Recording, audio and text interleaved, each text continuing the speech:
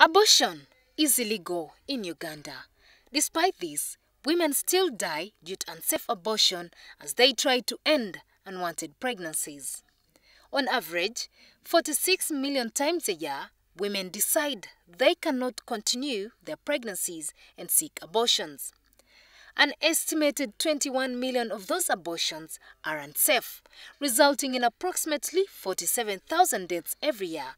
Over half a million women have died in the last decade alone, and millions more have been injured. FABS, a community-based organization in Kampala, visited Bwaise industrial area, one of the areas with the highest numbers of unsafe abortion cases, and interacted with the men and women about the lead causes of unsafe abortions in this area.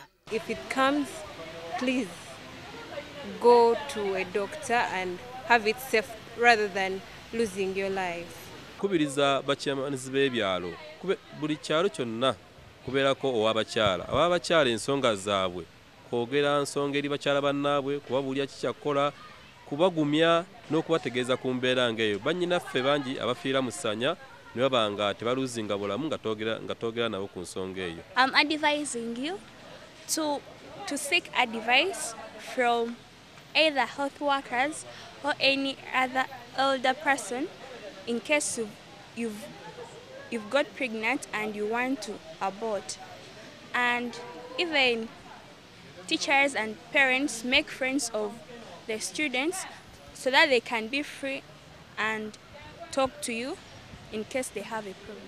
Sarah Namialo, a midwife with Uganda Private Midwives Association, encourages women to use family planning to avoid unwanted pregnancies that result into unsafe abortions that sometimes lead to untimely deaths. In case if you feel that you are not ready to conceive or to have children, it would have been better if we use contraceptives.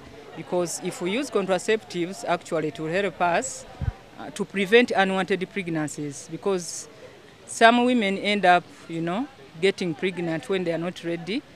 And once they are not ready, they go for unsafe abortions. And we know it very well that once you go for unsafe abortion, there are higher chances of losing your life. As long as women continue to experience unwanted pregnancies, governments, health facilities, advocates, and communities must work together to increase access to sexual reproductive health, use of contraceptives, and easy access to women's health care. Together, we can fight unsafe sex, unwanted pregnancies, and unsafe abortions.